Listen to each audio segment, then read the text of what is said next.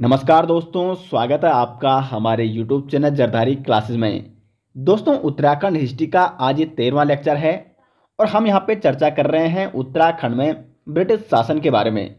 British शासन का आज ये सेकंड पार्ट है दोस्तों और इसका जो फ़र्स्ट पार्ट था, यानी लेक्चर बारह, उसमें हमने आपको कुमाऊँ के जो प्रथम कमिश्नर थे ई गार्डनर से लेकर हैनरी रैमजी तक कंप्लीट करा दिया था, जो भी महत्वपूर्ण फैक्ट थे। दोस्तों कुछ अभ्यर्थियों के यहाँ पे कमेंट आ रहे थे कि जो सर हेनरी रैमजे हैं इनका कार्यकाल यहाँ पे कमिश्नर का कार्यकाल अठारह सौ छप्पन से शुरू होता है अठारह सौ चौरासी तक। तो हेनरी रैमजे ने 1848, 1850 या अठारह में कार्य कैसे कराए? दोस्तों बहुत अच्छा कमेंट था और जहाँ पे भी आ, आपको डाउट होता है दोस्तों आपको इसी प्रकार से अपने मन में सवाल नहीं रखना चाहिए बिल्कुल कमेंट बॉक्स में पूछना चाहिए। तो दोस्तों आपको बता दें देखो कमिश्नर मतलब कमिश्नर एक बड़ी पोस्ट होती है तो सीधे कमिश्नर तो कोई व्यक्ति बनेगा नहीं। यानी उससे पहले वो व्यक्ति वहाँ पे काम कर रहा है, वहाँ पे अधिकारी रह चुका है। तो दोस्तों, जो हैनरी रेमजे था, इसकी लोकप्रियता का ये भी बड़ा कारण था कि इसको काफ़ी समय हो गया था कुमाऊँ में, और उससे पहले वो किसी न किसी पद पर रहा होगा। तो दोस्तों, जब वो कमिश्नर नहीं था तो ये कार्य उसने उस समय कराए। ठीक है?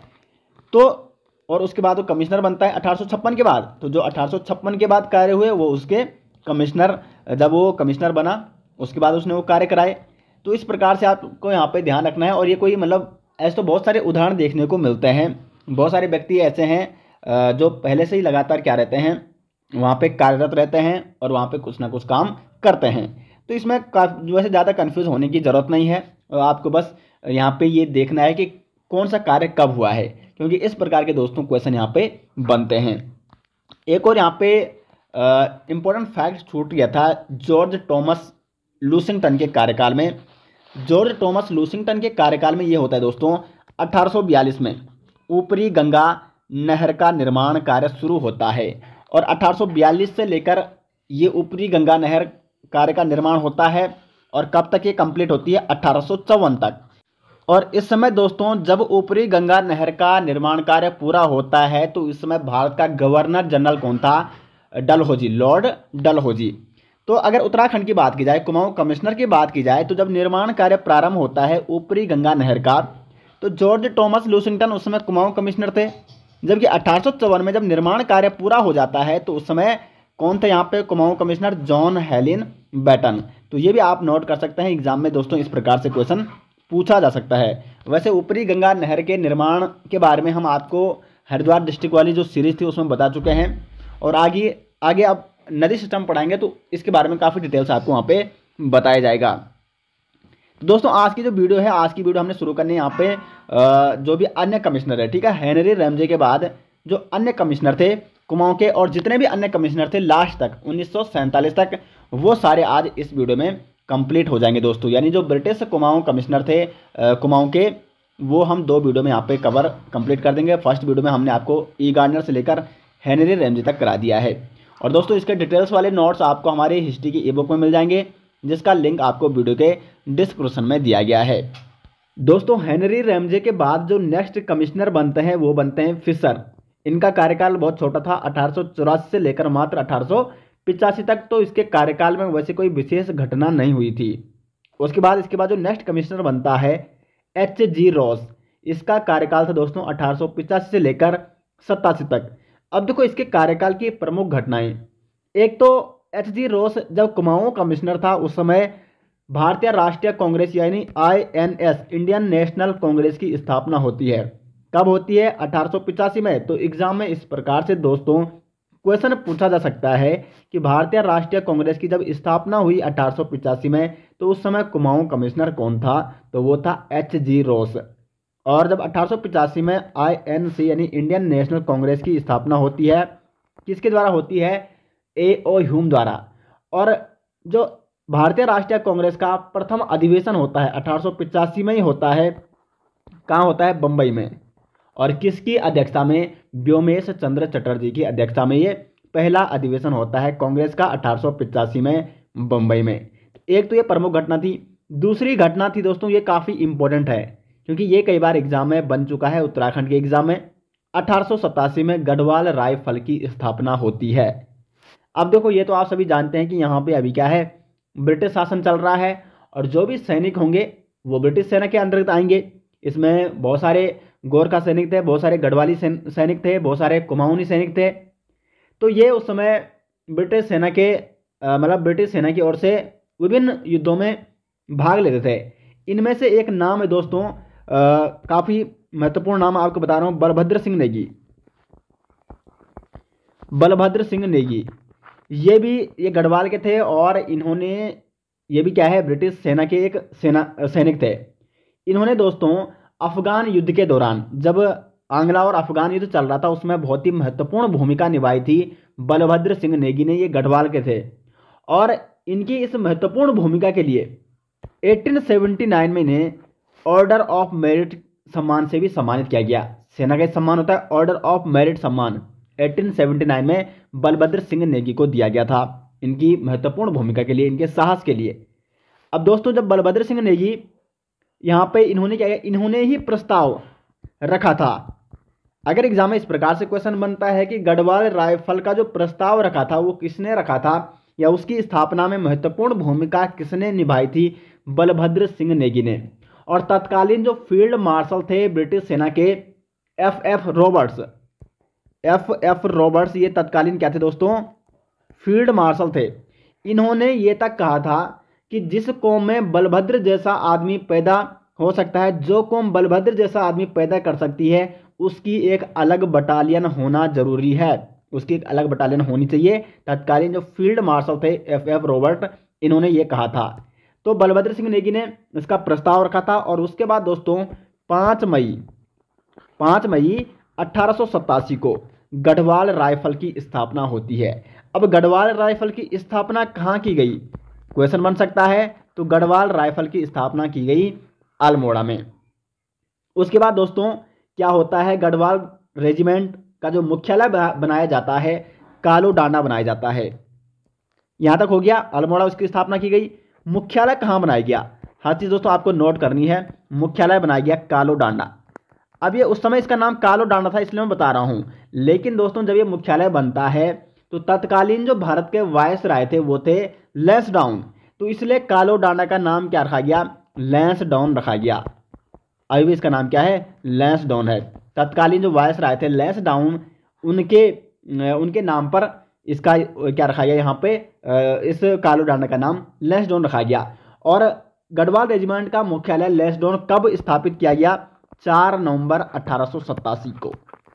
ठीक है, ये मुख्यालय स्थापना की डेट है, जबकि गढ़वाल राइफल या गढ़वाल रेजिमेंट की स्थापना कब की गई? पाँच मई अठारह सौ सतासी को। तो ये दोनों डेट दोस्तों काफ़ी इंपॉर्टेंट है। और उसके बाद जैसे आप सभी जानते हैं, देखो गढ़वाल राइफल में या गढ़वाल से बहुत सारे सैनिक, उस समय काफ़ी वीर सैनिक हुआ करते, वीर साहसी। अभी भी आप देखते होंगे, गढ़वाल से प्रत्येक गाँव में लगभग आधे से ज़्यादा परिवार ऐसे होते होंगे, जहाँ से कोई ना कोई सेना में भर्ती हुआ रहता है। और इसका, देखो, ब्रिटिशों को भी ये पता चल गया था कि गढ़वाल राइफल से जो गढ़वाल के लोग हैं एक तो ये वीर हैं, एक साहसी हैं, और इनको सेना में भर्ती करना ज़रूरी है, और इनके सम्मान के लिए एक अलग राइफल, अलग बटालियन, या जो अलग रेजिमेंट है, उसकी स्थापना करना भी ज़रूरी है। और आगे चलकर आपने देखा होगा, जब प्रथम विश्व युद्ध होता है तो तीन जो दोस्तों विक्टोरिया क्रॉस प्राप्त सैनिक होते हैं, वो गढ़वाली, गढ़वाल रेजिमेंट के ही होते हैं। यानी तीन विक्टोरिया क्रॉस मिले थे प्रथम विश्व युद्ध में गढ़वाल रेजिमेंट को, जो कि एक बड़ी उपलब्धि थी। तो ये दोस्तों, ये सब किसके कार्यकाल में होता है? गढ़वाल राइफल की स्थापना एच जी रोज के कार्यकाल में, आईएनसी, यानी ब्रिटिश इंडियन नेशनल कांग्रेस, भारतीय राष्ट्रीय कांग्रेस की स्थापना भी एच जी रोस के शासनकाल में होती है, ये इंपॉर्टेंट है। उसके बाद एच जी रोस के बाद जो नेक्स्ट यहाँ पे कमिश्नर नियुक्त किए जाते हैं जे आर ग्रिग इनके शासनकाल, इनका शासनकाल जो रहा 1887 से लेकर 1887 से लेकर 1889 तक। मुख्य घटना क्या है कि 1889 में हथियारों को रखने के लिए लाइसेंस नीति अपनाई जाती है, किसके कार्यकाल में? जे आर ग्रिड के शासनकाल में या कार्यकाल में। देखो लाइसेंस नीति अपनाने की आवश्यकता क्यों पड़ी ब्रिटिशर्स को? उस समय क्या होता था? एक तो यहाँ के जो व्यक्ति थे, यहाँ की जो जनता थी, बहुत सारे लोगों के पास उस समय हथियार हुआ करते थे, बंदूकें हुआ करती थी। और ब्रिटिश जो अधिकारी थे या जो ब्रिटिश शासन था, वो इस बात से घबराने लग गया था कि कहीं अगर इन लोगों ने विद्रोह कर लिया है तो इनके पास इतने ज़्यादा हथियार हैं और हमें पता भी नहीं है कि किसके पास हथियार है, क्योंकि लाइसेंस उस समय हुआ नहीं करते थे। अगर इन लोगों ने हथियार उठा दिए तो हमारी मतलब खैर नहीं है, हमें यहाँ से छोड़ना पड़ेगा। ये कभी भी हमें क्या कर सकते हैं? विद्रोह कर सकते हैं और मार सकते हैं। तो इसलिए इन्होंने बड़ी चालाकी से दोस्तों 1889 में हथियारों को रखने के लिए लाइसेंस नीति अपनाई। सभी के हथियार जब्त किए गए। सिर्फ़ वही वही यहाँ पे हथियार रख सकता है, जिसके पास क्या है दोस्तों? लाइसेंस है। तो कुल मिला अब सरकार को पता था कि किस किस के पास हथियार हैं। उन पर नज़र रखी जाती थी। उनको लाइसेंस दिए गए और बिना लाइसेंस के कोई भी व्यक्ति यहाँ पे हथियार नहीं रख सकता था। तो 1889 में हथियारों को रखने के लिए लाइसेंस नीति यहाँ पे अपनाई गई थी। उसके बाद दोस्तों नेक्स्ट जो कमिश्नर बनते हैं जी ई ऑर्स्किन 1889 से लेकर 1892 तक। और इसके शासनकाल की महत्वपूर्ण घटना ये है कि यहाँ पे दो कुमाऊं कमिश्नरी को दो जनपदों में विभक्त किया जाता है, यानी दो जनपदों का गठन किया जाता है। कौन कौन से हो जनपद? अठारह सौ इक्यानवे में कुमाऊं को दो जनपद, अल्मोड़ा और नैनीताल जनपद में बांटा गया। तो नैनीताल जनपद की स्थापना कब हुई दोस्तों? या नैनीताल जनपद का गठन कब हुआ? अठारह में। और इसी प्रकार से अल्मोड़ा जनपद का भी गठन कब हुआ? अठारह में। दोनों यहाँ पे आपको नोट करने हैं, क्योंकि कई बार एग्ज़ाम में पूछा जाता है, और किसके कार्यकाल के दौरान? तो जी ई आर स्किन के दौरान ये महत्वपूर्ण घटना हुई थी। उसके बाद दोस्तों, जो नेक्स्ट यहाँ पे कमिश्नर बनते हैं डी टी गैबर्ट्स इसका कार्यकाल है 1892 से लेकर 1894 तक। इसके कार्यकाल के दौरान 1893 में, यानी अठारह अठारह में दोस्तों, मुक्तेश्वर मुक्तेश्वर कहाँ है आपका? नैनीताल में है। तो नैनीताल के मुक्तेश्वर में पशु अनुसंधान संस्थान, यानी भारतीय पशु चिकित्सा अनुसंधान संस्थान की स्थापना की गई। अनुसंधान, संस्थान। अब देखो आई वी आर आई यानी इंडियन वेटनरी रिसर्च इंस्टीट्यूट ये मुक्तेश्वर में कब स्थापित किया गया? अठारह सौ तिरानवे में। इस समय कुमाऊं कमिश्नर कौन था? डी टी गैबर्ट्स अब देखो, वैसे इसके बारे में दोस्तों काफ़ी डिटेल्स आपको बता रखा पहले ही, जब मैंने आपको उत्तराखंड के प्रमुख संस्थानों के बारे में बताया। उत्तराखंड के जितने भी संस्थान हैं, चाहे वो सेंट्रल लेवल के हैं, चाहे वो राज्य स्तरीय हैं। सभी दोस्तों, संस्थानों के बारे में काफ़ी डिटेल से मैंने आपको पहले ही बताया है। आप सर्च कर सकते हैं यूट्यूब में उत्तराखंड के प्रमुख संस्थान बाई जरधारी क्लासेस। सारे संस्थान, दो या तीन वीडियो में मैंने आपको वो बताए हुए हैं। वैसे दोस्तों, जो ये आई वी आर आई है, इसका जो पहले नाम था इम्पीरियल बैक्टीरियोलॉजिकल लेबोरेटरी उसकी स्थापना वैसे 1889 में पुणे में होती है, लेकिन बाद में इसका नाम भारतीय पशु चिकित्सा अनुसंधान संस्थान यानी इंडियन वेटनरी रिसर्च इंस्टीट्यूट रखा जाता है और इसको स्थापित किया जाता है मुक्तेश्वर में 1893 में। तो इसलिए आई वी आर आई की जो स्थापना होती है, वो 1893 में ही होती है। कहाँ होती है? मुक्तेश्वर में होती है। और दोस्तों 1915 में 1915 में क्या होता है? कि इज़्ज़त नगर में इसका मुख्य केंद्र बनाया जाता है। तो इसका मुख्य केंद्र वर्तमान में इज़्ज़त नगर है, ये भी आपको नोट करना है। लेकिन अगर मुक्तेश्वर का प्रश्न बनता है, तब आपको अट्ठारह करना है। भारतीय पशु चिकित्सा अनुसंधान संस्थान यानी आईवीआरआई उसके बाद दोस्तों डी टी के शासनकाल में ही अट्ठारह में वन नीति भी लागू की गई थी। वन नीति यानी फॉरेस्ट पॉलिसी और ये दोस्तों, भारत की पहली वन नीति थी, पहली फॉरेस्ट पॉलिसी थी जो कि अट्ठारह में लागू की गई थी। तो एग्ज़ाम में बन सकता है कि जब भारत की पहली वन नीति यानी फॉरेस्ट पॉलिसी लागू की गई थी तो उस समय कुमाऊं कमिश्नर कौन था? डी टी और इसका उद्देश्य क्या था इस वन नीति का? तो वनों से अधिक से अधिक राजस्व प्राप्त करना। यही इसका प्रमुख क्या था? उद्देश्य था। उसके बाद दोस्तों कमिश्नर बनता है ई ई ग्रिज अठारह सौ चौरानवे से लेकर अठारह सौ अट्ठानबे तक। और इसके शासनकाल की वैसे ज़्यादा विशेष कोई महत्वपूर्ण घटना नहीं है, लेकिन अठारह सौ सतानवे में पहली बार जो पृथक उत्तराखंड प्रांत की मांग, वो किसके समकक्ष रखी गई थी? महारानी विक्टोरिया के समकक्ष रखी गई थी। तो कब रखी गई थी? अठारह में पृथक उत्तराखंड प्रांत की ये मांग रखी गई थी। उसके बाद नेक्स्ट कमिश्नर है दोस्तों, आर ई हेम्बलिन। इसका कार्यकाल है अठारह से लेकर 1902 तक। इसके शासनकाल की जो घटना है, एक तो यहाँ पे देहरादून में रेल का आगमन होता है, अठारह और 1900 के आसपास। देखो, वैसे जो देहरादून रेलवे स्टेशन है, इसका निर्माण कार्य प्रारंभ होता है अठारह सौ सत्तानबे के आसपास निर्माण कार्य प्रारंभ होता है और निन्यानवे ये निर्माण कार्य कंप्लीट हो जाता है। और उसके बाद यहाँ पे जो रेल का आगमन होता है दोस्तों, कब होता है? 1900 में। ठीक है, मार्च 1900 के आसपास। 1900 के आसपास देहरादून में रेल का आगमन होता है। किसके मतलब कौन था इस समय Kumaon commissioner R E Hamlin? वैसे अगर हम उत्तराखंड की बात करें तो काठ गोदाम में वैसे इससे पहले रेल आ चुकी थी। कब हुआ था काठ गोदाम में? पहली बार रेल कब चली गई, चली थी अट्ठारह में।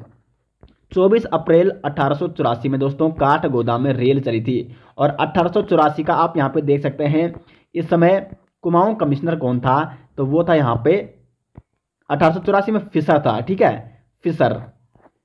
तो इस समय काठ गोदाम में वैसे रेल चल गई थी और अगर रेल के इतिहास की बात की जाए दोस्तों तो भारत में तो वैसे ये माना जाता है कि अठारह सौ तिरपन में रेल चली थी सर्वप्रथम, लेकिन दोस्तों 2003 में इस तथ्य की खोज हुई कि वैसे अगर सर्वप्रथम रेलवे की बात की जाए, पहली रेलगाड़ी जो एक मालगाड़ी हुआ करती थी, वो कहाँ चली वो उत्तराखंड के रुड़की में चली थी दोस्तों 22 दिसंबर। अठारह सौ इक्यावन में। इसका वैसे देखो, अब एग्ज़ाम में अगर क्वेश्चन बनता तब तो आपको अठारह सौ तिरपन ही करना है, क्योंकि उसकी मतलब मान, मानते उसी को, क्योंकि उसकी खोज पहले हो गई थी। ये तो दोस्तों 2003 में पता चला किसी खोज में। रुड़की में 22 दिसंबर अठारह सौ इक्यावन में पाँच किलोमीटर ये रेल चली थी। ये क्यों चलाई गई थी? जब ऊपरी गंगा नहर का निर्माण कार्य चल रहा था तो रुड़की से पिरान कलियर के बीच चलाई गई थी पाँच किलोमीटर 22 दिसंबर अठारह सौ इक्यावन को ये रेल। ये एक मालगाड़ी थी और माल को ढोने के लिए इस रेल को चलाया गया था। और प्रारंभ में इस रेल के जो इंजन का नाम था, वो था थॉमसन ठीक है, ये भी आपको नोट करना है, अगर एग्ज़ाम में पूछा जाता है। तो अगर एग्ज़ाम में इस प्रकार से क्वेश्चन बनता है कि उत्तराखंड के रुड़की में पहली बार रेल कब चली थी, अठारह में चली थी दोस्तों। ठीक है, और वैसे मैं रेल परिवहन वाली जो वीडियो थी, उसमें मैंने आपको इसके बारे में काफ़ी डिटेल्स में बताया है। अब दोस्तों, दूसरी क्या घटना होती है, आर ई हेमलिन के शासनकाल की। 1901 में दोस्तों, गढ़वाल यूनियन की स्थापना होती है आर ई हेमलिन के कार्यकाल में। गढ़वाल यूनियन की स्थापना किसके द्वारा होती है? गढ़वाल के युवाओं द्वारा, जिनमें तारजत गैरोला और उनके कुछ मुख्य सहयोगी थे। अब देखो, गढ़वाल यूनियन की स्थापना क्यों की जाती है?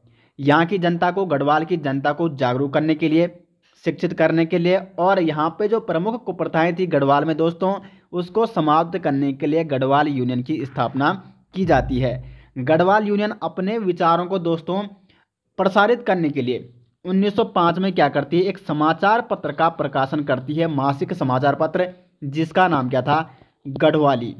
तो जो गढ़वाली मासिक समाचार पत्र निकला दोस्तों 1905 में इसका प्रकाशन किया गया। किसके द्वारा किया गया? गढ़वाल यूनियन द्वारा किया गया। गढ़वाल यूनियन में जो क्या थे? युवा थे गढ़वाल के। उनके द्वारा इस मासिक समाचार पत्र का प्रकाशन किया गया। क्या था इस मासिक समाचार पत्र का मुख्य उद्देश्य? इसका मुख्य उद्देश्य था कि जो गढ़वाल यूनियन के जो विचार हैं, जो विचारधारा है, उसको अधिक से अधिक प्रसारित करना और गढ़वाल यूनियन का जो संगठन है, उसको और अधिक बढ़ाना। तो गढ़वाल यूनियन की स्थापना कब होती है? 1901 में होती है और इस समय कमिश्नर कौन है? कुमाऊं में आर ई हेमलिन। उसके बाद दोस्तों नैनीताल जेल की स्थापना होती है 1902 और तीन के आसपास। अब दोस्तों उसके बाद है यहाँ पे जो नेक्स्ट कमिश्नर हैं ए एम डब्ल्यू शेक्सपियर 1903 से लेकर 1905 तक इनका कार्यकाल रहा है और इसके शासनकाल की जो प्रमुख घटना है वो यही है कि गढ़वाली समाचार पत्र का प्रकाशन होता है 1905 में और ये पत्र का प्रकाशन किसके द्वारा किया जाता है, अभी मैंने आपको ऊपर बता दिया है, गढ़वाल यूनियन द्वारा। 1905 में गढ़वाली समाचार पत्र का प्रकाशन किया जाता है। उसके बाद दोस्तों जो कमिश्नर बनते हैं, वो बनते हैं जे एम कैंपबेल। इनका शासनकाल है 1906 से लेकर 1913 तक। और दोस्तों आपको बता दें, इसका जो कार्यकाल रहा, इस दौरान बहुत सारी ऐसी घटनाएँ हुई हैं, जो डायरेक्ट एग्ज़ाम में पूछी गई हैं। यहाँ पर मैं जिस भी घटनाओं का उल्लेख यहाँ पे अभी कराऊँगा, जो भी कार्य इसके शासनकाल में हुए हैं, वो सभी दोस्तों एग्ज़ाम में बन चुके हैं। अब देखो, सबसे पहले 1906 में बात करें तो 1906 में जो ग्लोगी जल विद्युत परियोजना है, इसका कार्य पूरा होता है। ये ग्लोगी जल विद्युत परियोजना, ये कहाँ है आपकी? ये है आपकी मसूरी में।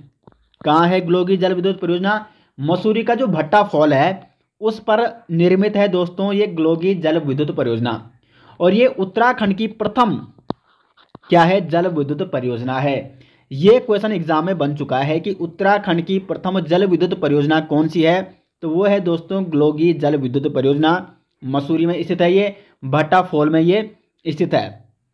ये आपको नोट करना है। तो कब हुआ ये? इसका कार्य पूरा ग्लोगी जल विद्युत परियोजना का कार्य 1906 के आसपास इसका कार्य पूरा होता है, जब यहाँ पे कमिश्नर कौन है? जे एम कैम्बेल है। उसके बाद दूसरी घटना क्या है? कुल्ली एजेंसी कुल्ली एजेंसी की स्थापना कब होती है? 1908 में होती है। कुल्ली एजेंसी का पूरा नाम था दोस्तों, transport and supply cooperative association. और इस कुल्ली एजेंसी की स्थापना कौन करता है दोस्तों? जोध सिंह नेगी करता है, ठीक है? इसका नाम क्या है? जोध सिंह नेगी, जिसके द्वारा कुल्ली एजेंसी की स्थापना की जाती है। इस कुल्ली एजेंसी का कार्य क्या था? जैसे आप सभी जानते हैं कि कुल्ली एजेंसी ये बहुत पहले से यहाँ पे प्रथा थी और 1921 में ये समाप्त होती है। लेकिन उससे पहले से, काफ़ी पहले से यहाँ पे दोस्तों, इसके विरुद्ध यहाँ पे मतलब विरोध होने लग गया था इस कुली बेगार प्रथा का।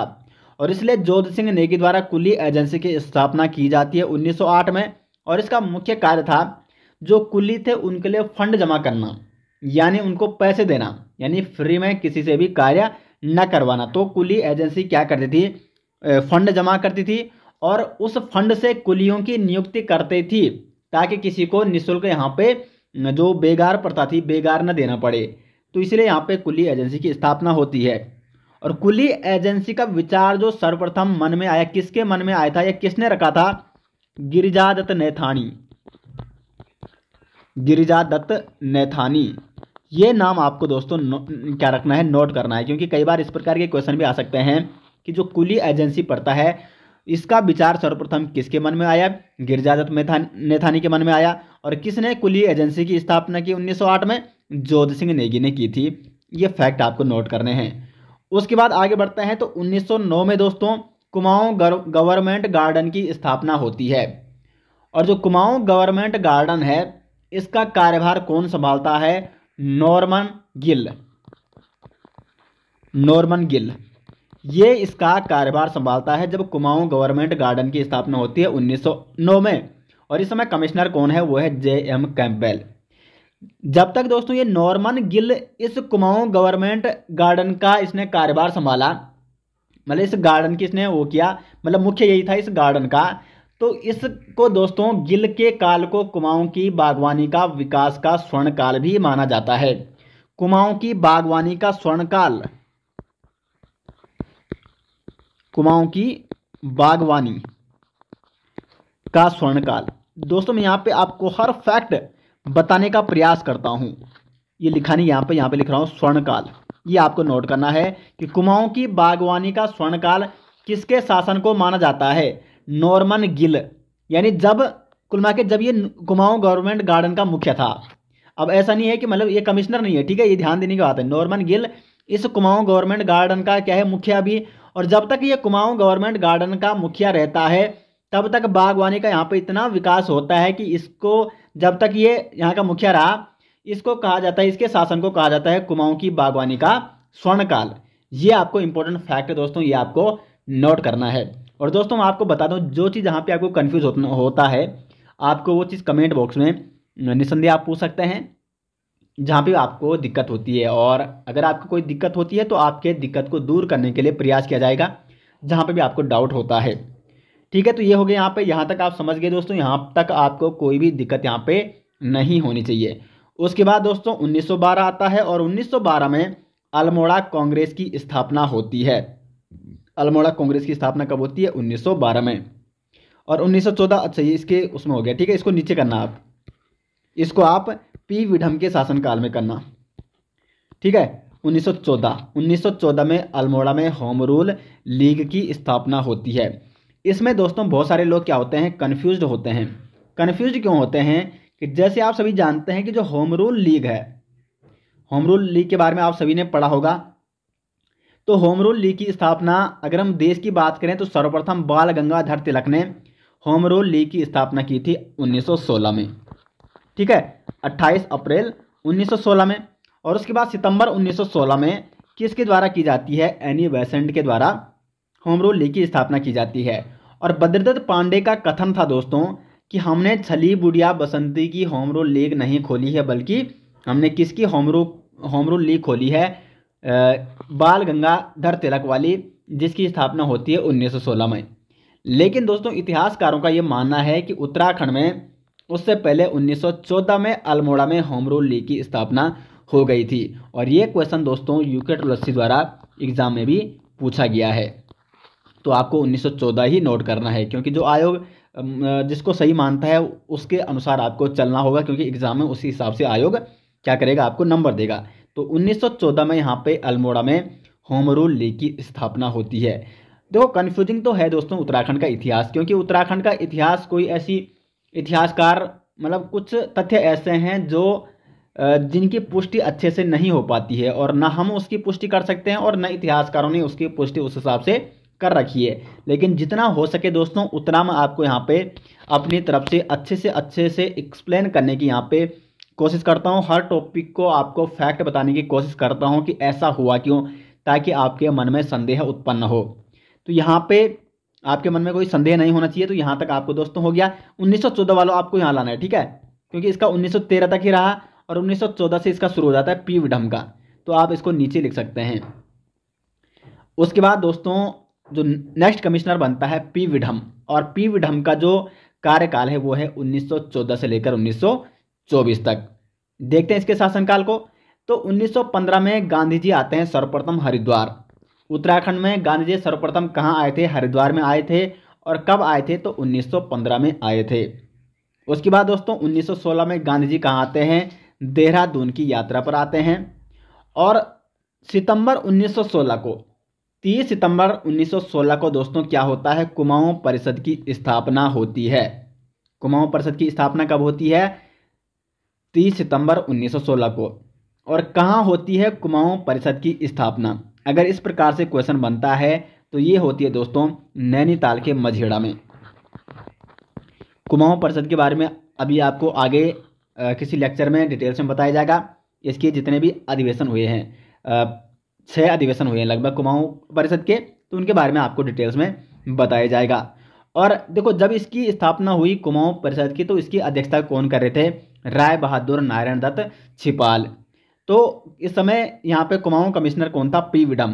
क्योंकि अभी हमारा मुख्य फोकस क्या है? कमिश्नर आपको देखना है और किसके कार्यकाल में क्या हुआ है। क्योंकि अब दोस्तों, कई प्रकार से यहाँ पे एग्ज़ाम में क्वेश्चन बनने लग गए हैं और इस प्रकार से भी क्वेश्चन बनते हैं कि बताइए, जब इस प्रकार से क्वेश्चन बन सकता है कि जब कुमाऊं परिषद की स्थापना हुई थी तो उस समय कुमाऊं का कमिश्नर कौन था? वो था दोस्तों, पी विडम। उसके बाद 1921 में कुली बेगार को प्रथा का अंत होता है और ये भी किसके कार्यकाल के दौरान होता है पी विडम के ही कार्यकाल के दौरान होता है। और उन्नीस में कुली एजेंसी की दोस्तों क्या होती है? समाप्ति होती है। तो यहाँ तक दोस्तों आपका क्लियर हो गया होगा।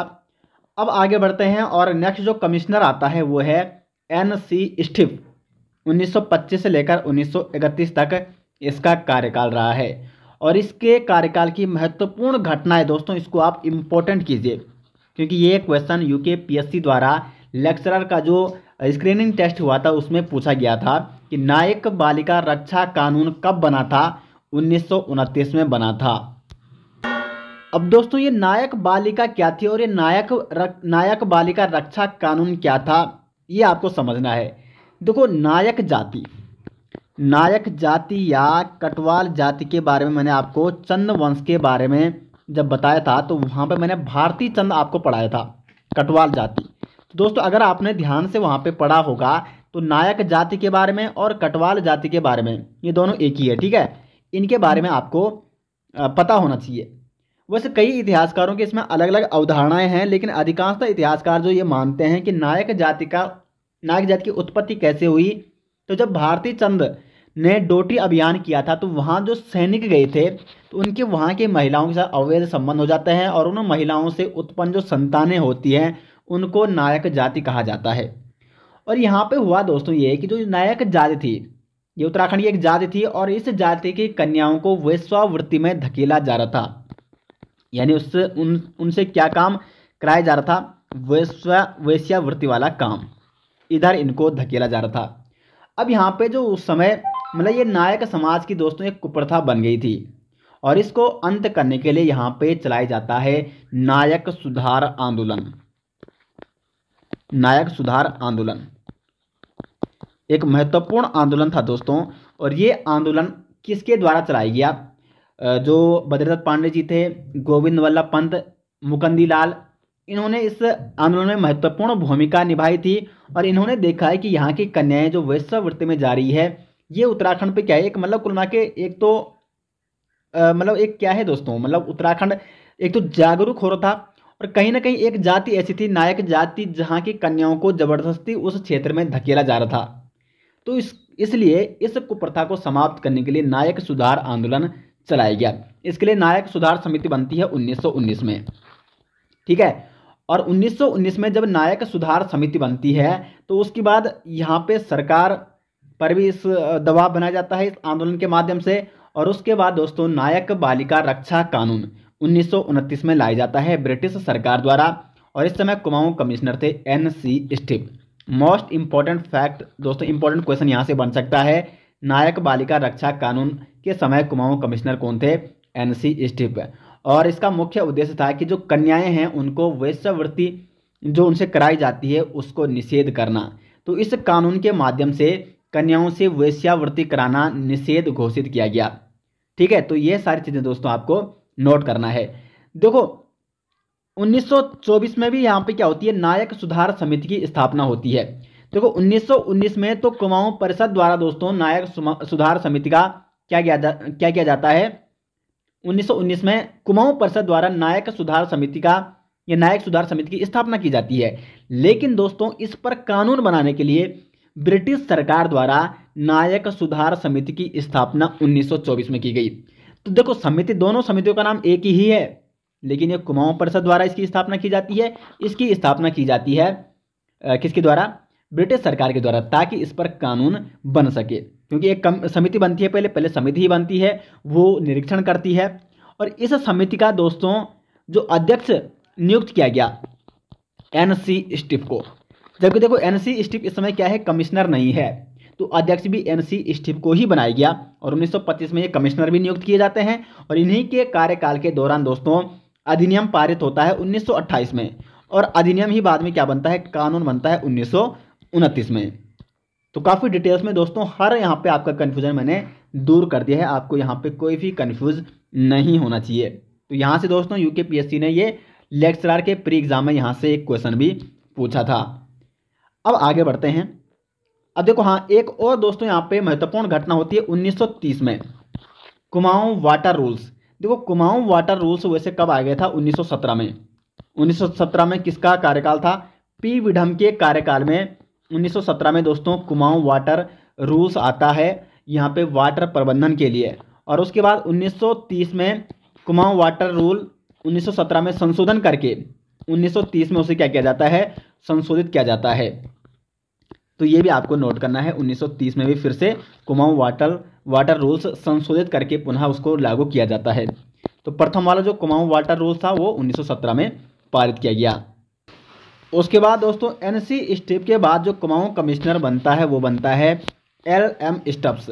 और एल एम स्टब्स, इसका कार्यकाल है 1931 से लेकर 1933 तक। और इसके कार्यकाल में दोस्तों 1932 में क्या होता है? राजकीय उद्यान चौबटिया में। हिल फ्रूट रिसर्च स्टेशन की स्थापना की जाती है। हिल फ्रूट रिसर्च स्टेशन की स्थापना कहाँ की जाती है? चौबटिया में की जाती है।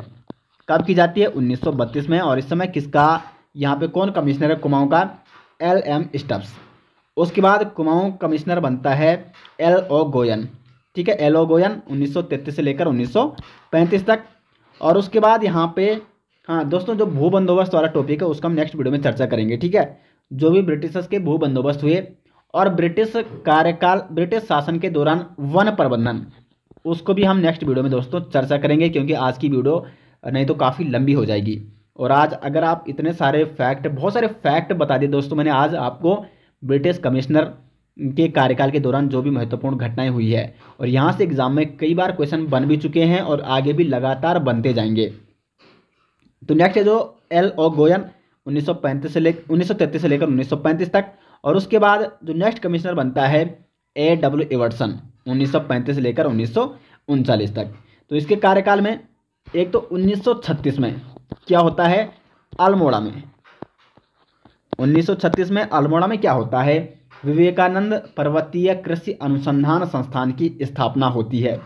स्वामी विवेकानंद पर्वतीय कृषि अनुसंधान संस्थान की स्थापना 1936 में अल्मोड़ा में होती है। और उसके बाद उन्नीस सौ सैंतीस में अल्मोड़ा के चनोदा नामक स्थान पर ही क्या होता है? शांतिलाल त्रिवेदी द्वारा गांधी आश्रम की स्थापना भी की जाती है। ठीक है? और ये एक मुख्य केंद्र था दोस्तों, स्वतंत्रता संग्राम का। उसके बाद जी एल विवियन उन्नीस से लेकर 1941 तक इसका कार्यकाल रहा। उसके बाद तेईसवां है टी जे सी एक्टन 1941 से लेकर तैतालीस तक। और 1900 अगर देखो, क्वेश्चन इस प्रकार से भी बन सकता है कि 1942 का जो भारत छोड़ो आंदोलन था उस समय कुमाऊं कमिश्नर कौन था? तो टी जे सी एक्टन था। और उसके बाद नेक्स्ट जो कमिश्नर बनता है डब्ल्यू डब्ल्यू फिनले 1943 से लेकर उन्नीस सौ सैंतालीस तक। देखो इस बीच जो ये महत्वपूर्ण घटना है उसको हम उत्तराखंड स्वतंत्रता संग्राम आंदोलन में जानेंगे। क्योंकि फिर वो एक देखो ये वो एक क्या है एक पर्टिकुलर टॉपिक है। और उसके बारे में अगर वो सारी घटनाएँ हम यहाँ बताने लग गए हैं तो आपको कन्फ्यूज़न क्रिएट हो सकता है। तो वो हम प्रॉपर एक आ, क्या है स्टेप बाय स्टेप वहाँ पे आगे उसको कवर करेंगे।